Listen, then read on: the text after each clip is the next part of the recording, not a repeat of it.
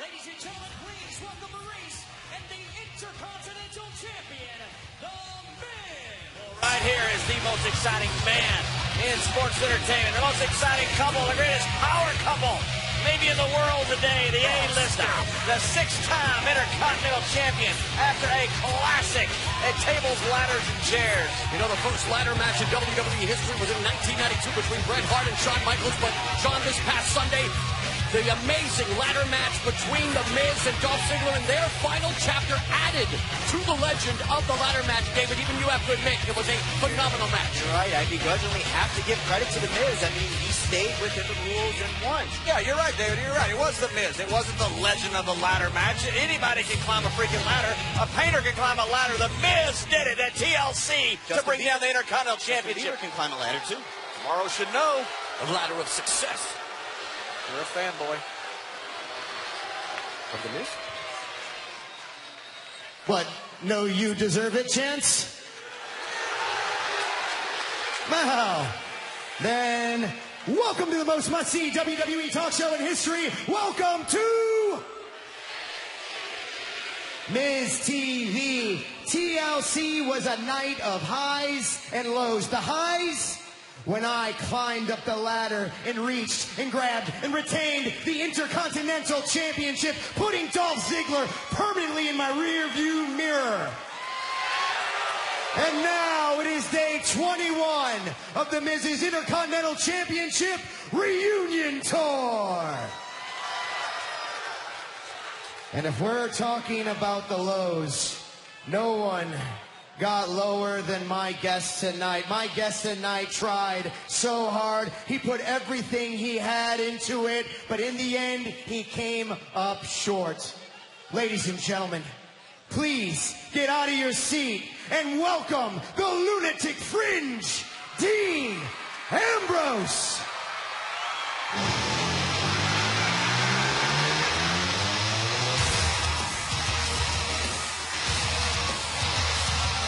Well, I never thought I'd like Dean Ambrose, but whatever he did to James Ellsworth today, that may be part of the Ambrose Asylum.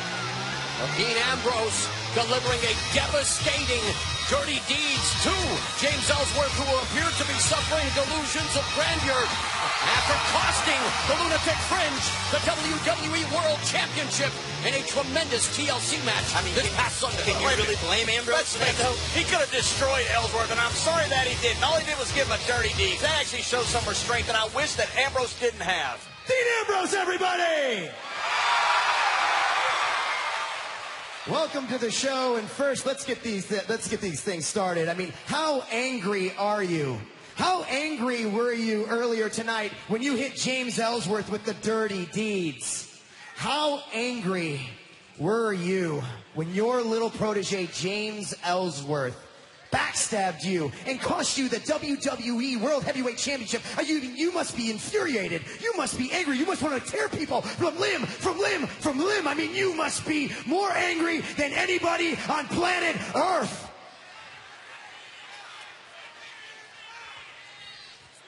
I'm not angry, Miz. You've never seen me angry, Miz. But I am surprised. I was very surprised. I was shocked. I would have never thought in a million years that this guy, this guy that was working a minimum wage job until I came along and handed him a SmackDown Live contract, made him a WWE superstar. This guy, I got him a the, the, the guy, T-shirt. the guy that, that, that you used to get under AJ Styles' skin, isn't that right? The guy that you manipulated for your own agenda? I mean, could you really be that surprised? Could you be really be that surprised that the guy you treated like a puppet finally cut the strings and fought back? I mean, honestly, I mean, don't you think you kind of deserved it? I mean, if anything, I think you got off a little easy, if you ask me. And actually, I'm upset of the fact that you hit James Ellsworth with uh, a dirty deeds earlier tonight because now we can't see the match we all wanted to see tonight. And that match is James Ellsworth versus Dean Ambrose. This entire audience and everybody all over the world wanted to see James Ellsworth with his two hands rip you from limb to limb, throw you all over this ring, and give you exactly what you deserved. So honestly, Dean, you, could you really be that surprised? It always surprises me when somebody intentionally tries to piss me off. Whoa, whoa, whoa, whoa, whoa, whoa, whoa, whoa, whoa. Dean, I know you're upset. I mean, you at TLC tried so hard. You had your hands on the WWE World Heavyweight Championship. You were this close to becoming a champion, but you ended up walking away, coming up short. At TLC, you walked away empty handed. But not anymore. I got something for you. Race, thank you. Ladies and gentlemen, I would like to present Dean Ambrose with the first ever Miz Participation Award.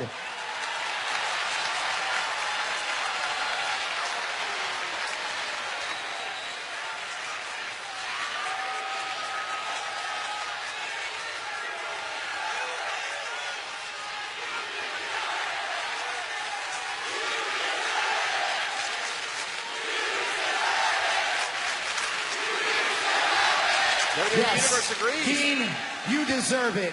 Because you may not have won, but you tried. Congratulations.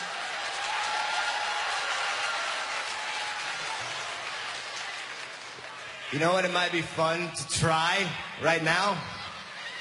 To try and see if I can shove this entire thing down your throat.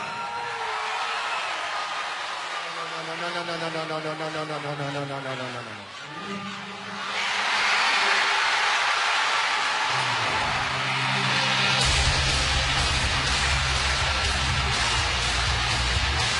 SmackDown Live General Manager Daniel Bryan. Probably coming out to congratulate Miz on a great Intercontinental Championship win. Well, he's the Miz's favorite person. Hold on, Dean. Hold on. I I see that look in your eyes, and as a GM, I cannot let you attack the Miz right now. Thank you, Daniel. But that's because I have one better. Tonight, in the SmackDown Live main event, it will be Dean Ambrose versus The Miz.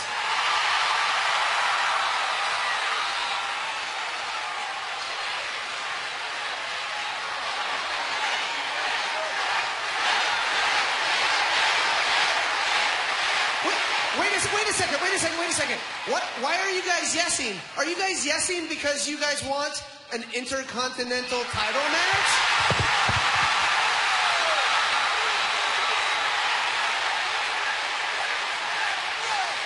Well then, the people have spoken. We have Dean Ambrose versus The Miz for the Intercontinental